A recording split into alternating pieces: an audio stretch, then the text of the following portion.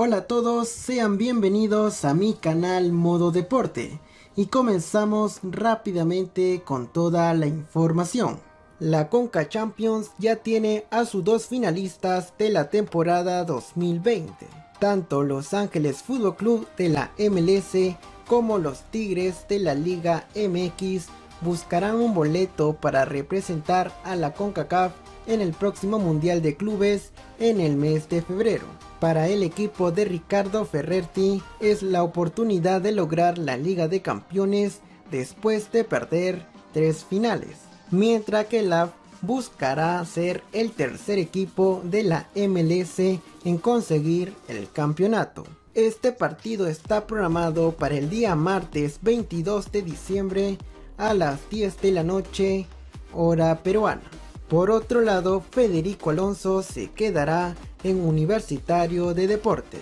Durante las últimas semanas se habló de que varios clubes del continente habían preguntado por el jugador. Incluso se mencionó que Barcelona de Guayaquil estaba muy cerca de cerrar su fichaje.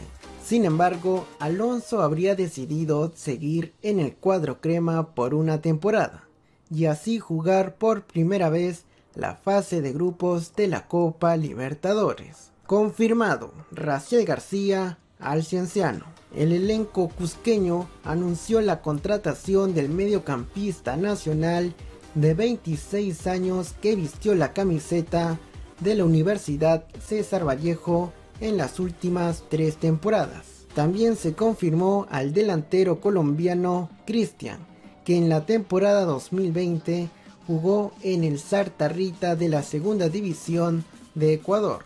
Así informó que el defensa central Juan Diego Lojas y el mediocampista Jorge Molina renovaron contrato y seguirán en la institución por una temporada más. El Deportivo Municipal anunció la vuelta de Marcos Arabia. Y por último y no menos importante, Universitario de Deportes presentó a Alex Valera como flamante refuerzo para el 2021. El delantero de 24 años llega procedente de Yacuabamba, donde marcó 9 goles a lo largo del 2020.